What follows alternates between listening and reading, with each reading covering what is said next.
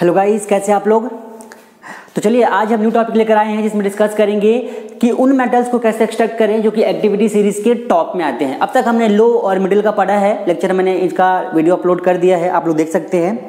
अब हम इस एक्सट्रैक्शन के टॉपिक का लास्ट टॉपिक पढ़ेंगे, जिसमें ये पढ़ेंगे कि जो मेटल्स एक्टिविटी सीरीज़ के सबसे टॉप में आते हैं और जो कि मोस्ट रिएक्टिव भी होते हैं, उनको किस प्रोसेस और कैसे हम उनको एक्सट्रैक्ट करते हैं? तो देखिए, सबसे पहले जानते हैं उन मेटल्स को जो एक्टिविटी सीरीज़ के टॉप में होते हैं, वो है हमारे पोटेशियम सोडियम कैल्शियम मैग्नीशियम और एल्यूमिनियम ये हमारे कुछ चार पाँच ऐसे मेटल्स हैं जो कि टॉप में होते हैं मोस्ट रिएक्टिव होते हैं. अब तक हमने ये पढ़ा है कि जितने भी मेटल्स हैं, उनको ऑक्साइड्स की फॉर्म में कन्वर्ट करो और उनको रिड्यूस कर दो. कार्बन के हेल्प से रिड्यूस करो एल्यूमिनियम के हेल्प से रिड्यूस करो और मेटल मिल जाता है हमें। लेकिन देखिए, यहाँ पे क्या होता है कि ये जितने भी मेटल्स हैं इनकी रिएक्टिविटी की वजह से ये ज़्यादा रिएक्टिव होते हैं मोस्ट रिएक्टिव होते हैं, जिसकी वजह से क्या होता है कि ऑक्साइड्स के साथ इनका जो कंपाउंड ऑक्साइड का जो बनता है, जब ऑक्साइड्स के फॉर्म में होते हैं तो बहुत अच्छे से स्टेबल होते हैं। तो इनको कार्बन रिड्यूस नहीं कर सकता। कार्बन इनके लिए सफिशियंट नहीं होता। They are good affinity they are they having good affinity towards oxygen क्योंकि इनके ऑक्साइड्स बड़े स्टेबल होते हैं और ये रिएक्टिव भी होते हैं। इसलिए carbon is not sufficient to make them reduce and and provide free metals तो इसीलिए इन मेटल्स को ऑप्टेन करने के लिए एक नया फॉर्मेट है, एक नया मेथड है, इसको बोलते हैं इलेक्ट्रोलाइटिक रिडक्शन इसमें इलेक्ट्रिसिटी की हेल्प से क्या करते हैं हम मेटल्स को रिड्यूस करते हैं और फिर ऑप्टेन करते हैं। तो सबसे पहले क्या होता है कि ये जितने भी मेटल्स होते हैं, ये एटमोस्फेयर में नेचर में दो तरीके से मिलते हैं, दो फॉर्म में मिलते हैं। कौन कौन सा फॉर्म होता है, देखिए। या तो ये मिलेंगे हमें क्लोराइड्स के फॉर्म में।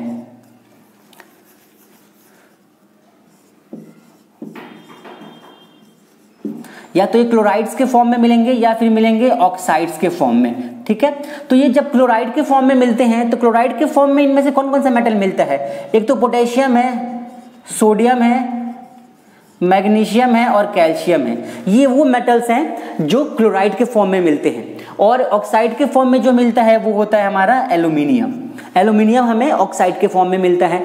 तो ये मेटल्स जब क्लोराइड्स के फॉर्म में मिलते हैं तो उन क्लोराइड्स में हम क्या करते हैं? उनके मोल्टन स्टेट में इलेक्ट्रिसिटी पास करते हैं और उनको ब्रेक करते हैं आयंस के फॉर्म में एंड देन हम मेटल्स ऑप्टेन करते हैं। देखिए कैसे करते हैं, इस प्रोसेस को समझते हैं।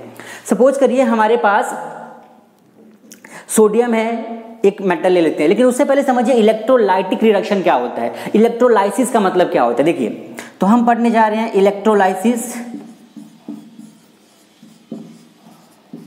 देखिए इलेक्ट्रोलाइसिस क्या होता है कि सपोज़ करिए हमारे पास एक कंटेनर है, ठीक है?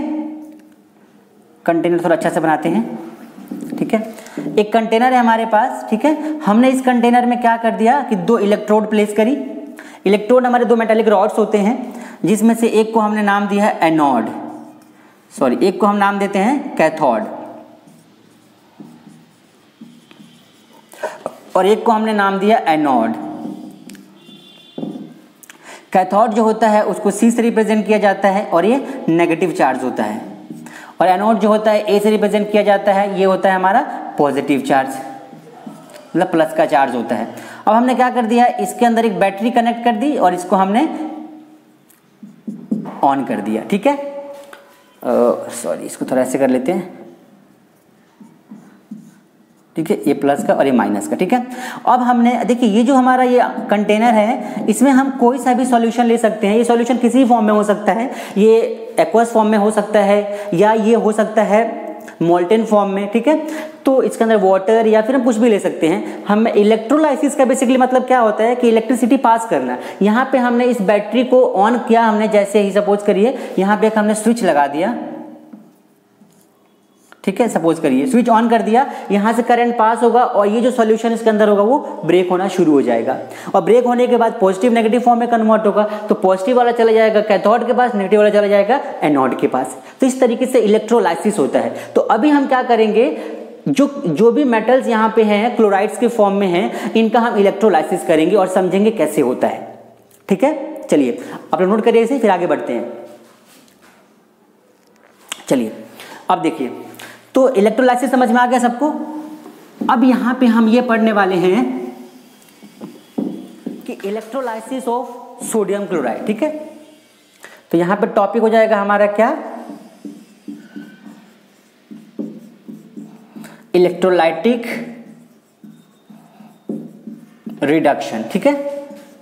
और हम यहाँ पे इलेक्ट्रोलाइट रिडक्शन किसका करने जा रहे हैं? हम यहाँ पे इलेक्ट्रोलाइटिक रिडक्शन करेंगे सोडियम क्लोराइड का। जब सोडियम क्लोराइड का इलेक्ट्रोलाइटिक रिडक्शन होता है तो किस तरीके से होता है और कैसे हमें सोडियम मेटल मिलता है, समझते चीज़ को। देखिए, हमने यहाँ पे NaCl लिया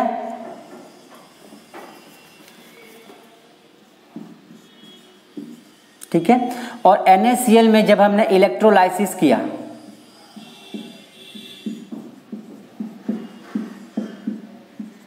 जब इलेक्ट्रोलाइसिस किया जाता है NaCl का तो NaCl क्या होता है? ये ब्रेक हो जाता है।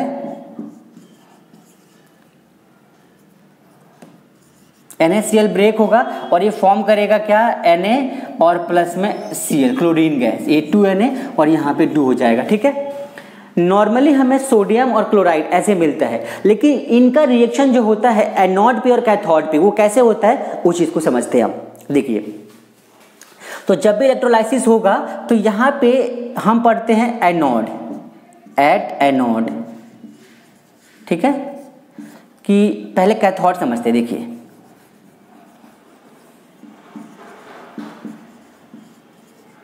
ठीक है एट कैथोड देखिए कैथोड पे जो रिएक्शन होती है हमारी, वो किस तरीके से होती है, ठीक है, और क्या होता है इसके अंदर? देखिए तो कैथोड पे जो रिएक्शन होता है हमारा, वो कैसे होगा? कैथोड पे क्या होता है, देखिए, पहले इसको शॉर्ट में ऐसे समझिए कि एक कंटेनर है हमारे पास, ठीक है, और हमने इसके मोल्टन स्टेट में क्या ले लिया? एन सी एल ले लिया।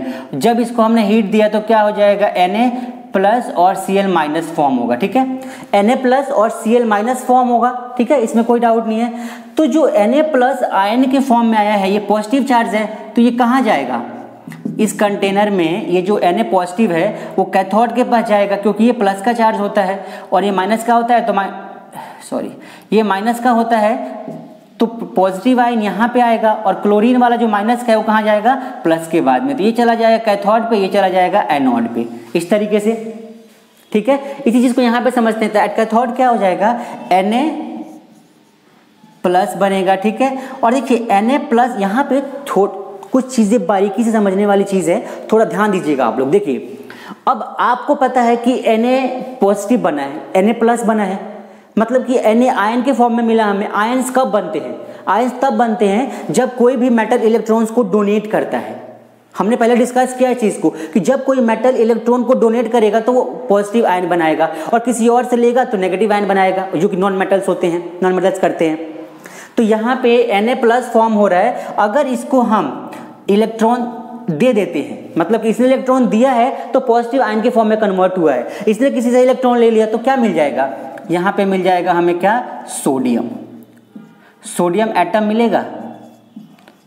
ठीक है? अगर हमें बैलेंस करना हो तो हमने यहाँ पे देखा टू सोडियम है तो दो सोडियम है तो यहाँ पे टू इलेक्ट्रॉन हो जाएगा और यहाँ पे टू सोडियम एटम ऑप्टेन हो जाएगा। तो इस तरीके से एटम मिला अब देखिए, ये सोडियम है, कहाँ से आया? ये सोडियम जो आया, यहाँ पे ये मोल्टेन फॉर्म में होता है तो ये कहाँ से मिला? From molten sodium chloride.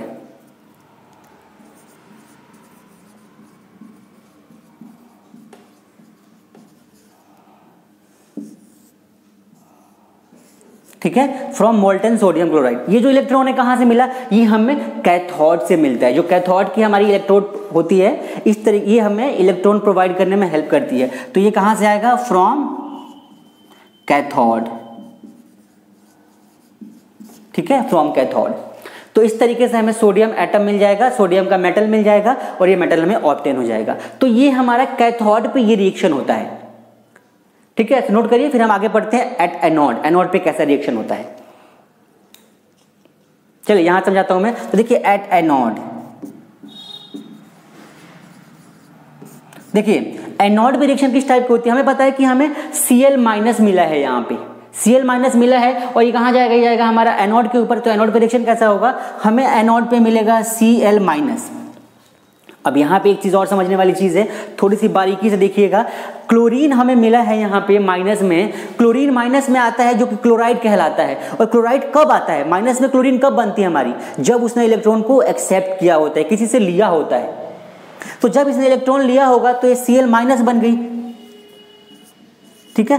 Chlorine minus के फॉर्म में है। अगर हम इसमें से इलेक्ट्रॉन को निकाल देते हैं, सपोज़ करिए, हमने क्या कर दिया इसमें से? हमने इसमें से ये सी एल माइनस है और हमने इसमें से माइनस कर दिया इलेक्ट्रॉन को। तो ये एटम के फॉर्म में आ जाएगा नॉर्मली कोई भी नॉन मेटल है, अगर उसने आयनी कॉन्फ़िगरेशन गेन किया है मतलब कि आयन बना हुआ है तो तभी बना होगा नॉन मेटल जब उसने इलेक्ट्रॉन्स को एक्सेप्ट किया होगा। तो जब इसने इलेक्ट्रॉन को लिया होगा तो ये आयन के फॉर्म में कन्वर्ट हो गया होगा नेगेटिव आयन में, जो कि ये है। इसने एक इलेक्ट्रॉन सपोज़ करिए हमने इसमें से इलेक्ट्रॉन को बाहर निकाल दिया। जब इलेक्ट्रॉन बाहर आ गया तो ये क्या बन जाएगा? ये सिंपली बन जाएगा हमारा क्लोरीन गैस बैलेंस करने के लिए टू है तो यहाँ पर भी टू और यहाँ पर भी टू इलेक्ट्रॉन हम क्या करेंगे? यहाँ पे माइनस कर देंगे। तो इस तरीके से, अभी क्लोराइड कहाँ से आया? ये फिर हमें वहीं से मिला, कहाँ से? फ्रॉम मोल्टन सोडियम क्लोराइड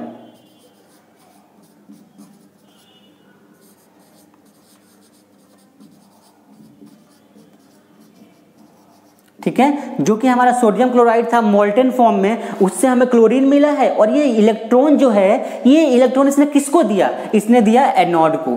तो जो इसका रॉड होगा पॉजिटिवली चार्ज होगा, उसको देके और अपने आप को आयन के फॉर्म में कन्वर्ट करेगा। तो ये कहाँ देगा?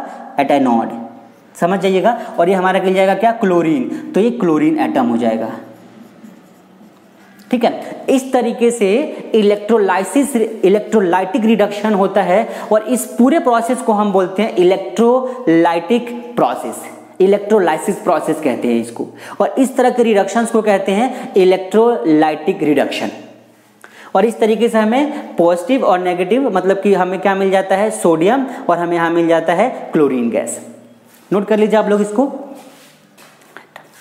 ये सोडियम है, यहाँ लिख लीजिए सोडियम यहाँ पे लिख दीजिए क्लोरीन।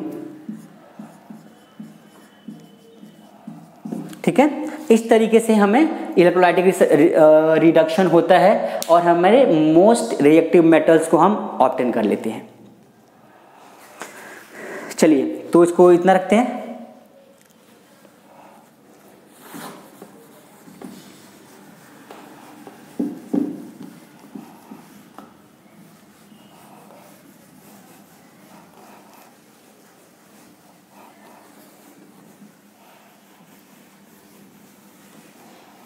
चलिए, एक बार फिर से इस चीज़ को डिस्कस करते हैं कि हम मोस्ट रिएक्टिव मेटल्स जो हमारे होते हैं, इनको हम इलेक्ट्रोलाइसिस रिडक्शन के थ्रू इलेक्ट्रोलाइटिक रिडक्शन के थ्रू ऑप्टेन करते हैं और ऐसा इसलिए करते हैं क्योंकि ये जो मेटल्स होते हैं, ये रिएक्टिव होते हैं और ऑक्सीजन के फॉर्म में कन्वर्ट नहीं किए जा सकते क्योंकि इनकी एफिनिटी अच्छी होती है ऑक्सीजन के साथ। मतलब कि ऑक्सीजन के साथ जब ये कॉन्टेक्ट में आएँगे तो ये ऑक्सीजन के कॉन्टेक्ट में आते ही क्या करेंगे? ऑक्साइड बना लेंगे और वो स्टेबल ऑक्साइड बन जाएगा, जो कि कार्बन से ऑप्टेन नहीं किया जा सकता।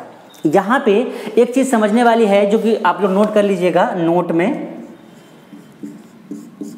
कि हमने जो कंटेनर लिया, उसमें हमने एन ए सी एल लिया था मतलब कि सोडियम क्लोराइड लिया था, और सोडियम क्लोराइड हमारा किस फॉर्म में था? यहाँ पे मोल्टेन फॉर्म में था। मोल्टेन स्टेट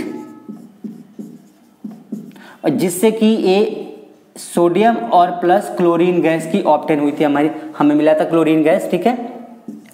देखिए, यहाँ पे समझने वाली चीज़ क्या है कि मोल्टन स्टेट में हमने इसलिए लिया था और हम इसको एक्वस सॉल्यूशन के फॉर्म में भी तो ले सकते थे। एक्वस फॉर्म में यहाँ पे हम इसको वाटर भी तो ले सकते थे और वाटर में इसको डाल के हमने हीट कर दिया, इलेक्ट्रिसिटी पास कर दी।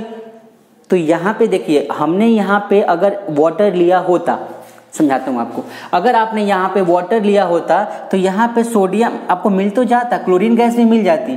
प्लस वाटर के साथ रिएक्शन करके दोबारा क्या बना लेता? सोडियम हाइड्रोक्साइड तो जब हम इलेक्ट्रोलाइटिक रिडक्शन करते हैं तो उसमें हम मोल्टन स्टेट के फॉर्म में उसको लेते हैं। मोल्टन फॉर्म में लेते हैं एक्वस फॉर्म में नहीं लेते हैं। क्योंकि अगर हमें मेटल ऑप्टेन करना है तो मोल्टन फॉर्म में ही लेना पड़ेगा। अगर वाटर मिलेगा तो वाटर से सोडियम दोबारा रिएक्ट करेगा और सोडियम हाइड्रोक्साइड बना लेगा। तब हमें फ्री मेटल नहीं मिलेगा, हमें सिर्फ़ सोडियम हाइड्रोक्साइड मिलेगा। तो इस चीज़ का आप ध्यान रखिएगा कि molten state is most important to obtain metals not in aqueous solution. Aqueous solution is not applied there because, you know, due to the aqueous solution, water hydroxide will form sodium hydroxide. तो आप इस चीज़ का ध्यान रखिएगा। ये बहुत ही important चीज़ है जो कि कई बार एग्ज़ाम में आ जाता है और बच्चे कन्फ्यूज़ हो जाते हैं। ठीक है? तो चलिए, देखिए रिडक्शन का टॉपिक एक्सट्रैक्शन का टॉपिक हमने पढ़ लिया। इतना ही था चीज़ को इतना रखते हैं। बाकी अगर कुछ डाउट होगा तो आप लोग कमेंट करिएगा, उसके अकॉर्डिंग रिप्लाई करेंगे। और सबसे इंपॉर्टेंट चीज़, अगर आपको यूजफुल लगता है ये चीज़ वीडियो तो आप दोस्तों में शेयर करिए और खुद भी पढ़िए। ठीक है? चलिए इतना रखते हैं आज के लिए। Thank you